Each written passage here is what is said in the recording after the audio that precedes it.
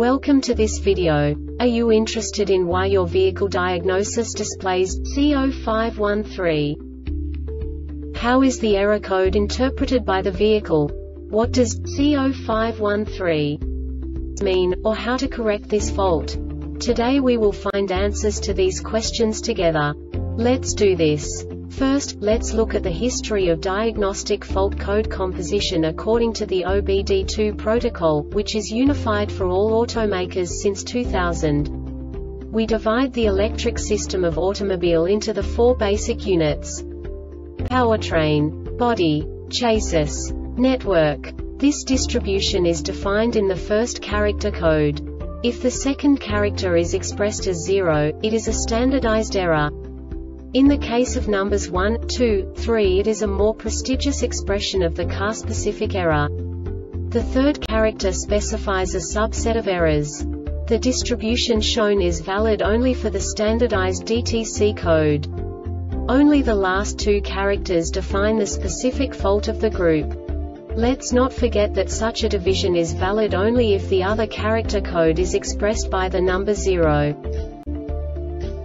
Our website airbagreset.sk produces useful videos for you. You do not have to go through the OBD2 protocol anymore to know how to troubleshoot any car breakdown. You will find all the diagnostic codes that can be diagnosed in a Jeep vehicles. Also many other useful things.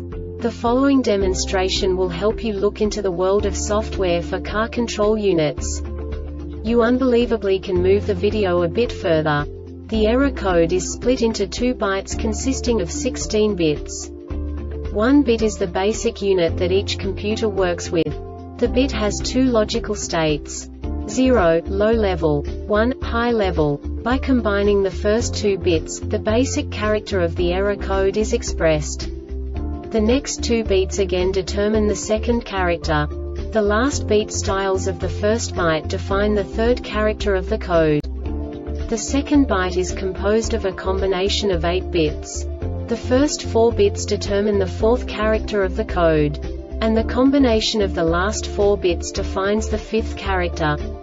A single byte conceals 256 possible combinations.